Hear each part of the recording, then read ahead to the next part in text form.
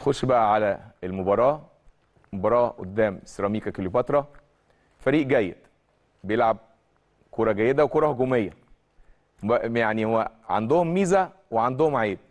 بيعرف يهاجم لأن ده أسلوب لعبهم. في لعيبة كرة كويسة. وده يعني بيضغي شوية على. النواحي الدفاعية.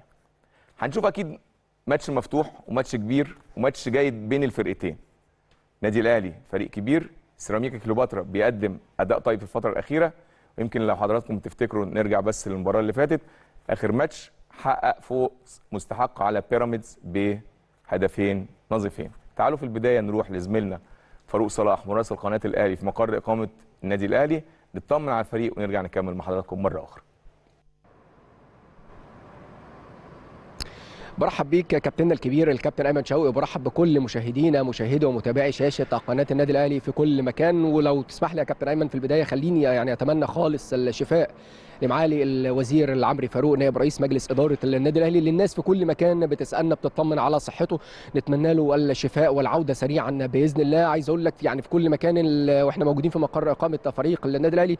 كتير جدا كل اللي قابلنا يسألنا على صحة معالي الوزير العمري فاروق اللي بنتمنى له الشفاء والعودة سريعا بإذن الله طبعا معاك معاك يا كابتن ايمن إحنا موجودين هنا في مقر إقامة فريق النادي الأهلي وآخر استعدادات النادي الأهلي لمواجهة فريق سيراميكا. مواجهة صعبة جدا ومواجهة قوية جدا في انتظار فريق ال- النادي الأهلي خاصة بعد تحقيق فريق سيراميكا للفوز في المباراة الأخيرة على فريق بيراميدز بهدفين مقابل لا شيء. آه، عايز أقول لك إن مستر كولر طبعا استأنف تدريباته بعد مباراة المقاولون العرب بلا راحة. الفريق استأنف في اليوم التالي تدريباته سريعا ثم منح مستر كولر اللاعبين أجازة لمدة 24 ساعة. ثم عاد اللاعبون للتدريب بالأمس في التدريب الأخير اللي كان على ملعب مختار التتش طبعا النادي الأهلي في هذه المباراة بيبدأ يستعيد بعض العناصر اللي كان فضل مستر كولر إن هو يريحها في المباراة الأخيرة. مباراة المقاولون العرب. النهارده المباراة بتشهد عودة الكابتن محمد الشناوي قائد ال- النادي الأهلي وقائد المنتخب ال- ال- المصري واحد من الحراس طبعا المميزين. طبعا إلى وجود وعودة محمد عبد المنعم وعودة أكرم توفيق. أيضا بنشوف النهارده عودة كريم نيفيك كواحد من الحلول والعناصر المهمة جدا في خط وسط النادي الأهلي إلى جانب كريم فؤاد. مستر كولر بالأمس اتكلم مع اللاعبين في المحاضرة الفنية على أهمية هذه ال- المباراة وضرورة إن فريق آه، يعني سيراميكا يبقى عنده دفعة قوية جدا بعد فوزه على فريق بيراميدز في المباراة الأخيرة. خاصة إن هو عنده مجموعة مميزة جدا من اللاعبين سواء في خط الوسط أو خط الهجوم وأيضا لاعبي خط الدفاع اللي بيمتلكوا مهارة التسديد من خارج منطقة الجزاء والكرات الثابتة. أمثال اللاعب محمد شكري اللي شفنا له أكثر من هدف. آخرهم هدفه في فريق بيراميدز ال- الهدف ال- الأخير كان من تسديدة من خارج منطقة الجزاء.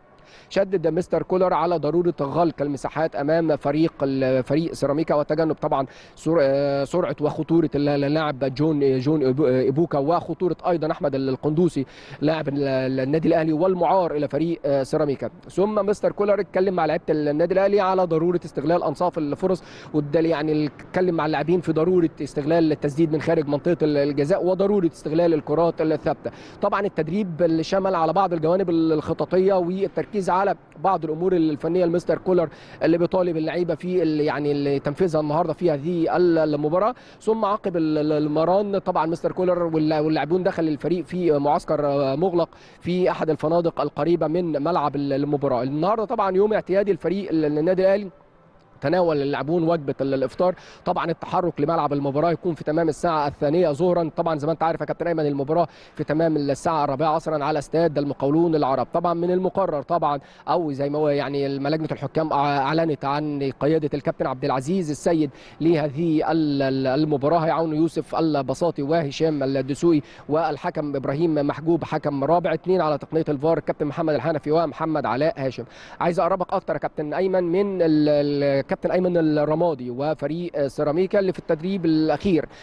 كابتن أيمن الرمادي اتكلم مع اللاعبين على خطورة ال- ال- النادي الأهلي وقوة عناصر ال- ال- النادي الأهلي ويعني بيطالب اللعيبة طبعا بتحقيق نتيجة إيجابية ولو نقطة تعادل أمام ال- ال- النادي الأهلي. من التدريب الأخير لفريق سيراميكا أقدر أقول لك التشكيل المتوقع. يعني الفريق آه، سيراميكا طبعا للكابتن أيمن الرمادي يكون محمد بسام في حراسة المرمى قدامه اثنين مساكين أحمد رمضان بيكهام ورجب نبيل. على يمينهم بيكون أحمد هاني وعلى شمالهم بيكون محمد شكري. اثنين في منتصف الملعب اللاعب محمد اللاعب محمد عادل وصديق أجولا. قدامهم مثلث هجومي مكون من أحمد القندوسي محمد إبراهيم ومحمود زلاكا. خلف رأس الحربه جون ايبوكا مواجهة صعبة جدا مواجهة قوية جدا لكن لعيبه النادي الأهلي إن شاء الله النهارده قادرين على تحقيق يعني المعادلة. إن شاء الله تحقيق الثلاث نقاط. مباراة هي مباراة بثلاث نقاط لكن تحقيق الثلاث نقاط في هذه المباراة وأيضا تحقيق الأداء اللي بيرضي جماهير النادي الأهلي. كل التوفيق للنادي الأهلي في هذه المباراة. من جديد تعود الكلمة للزميل العزيز الكابتن أيمن شوقي.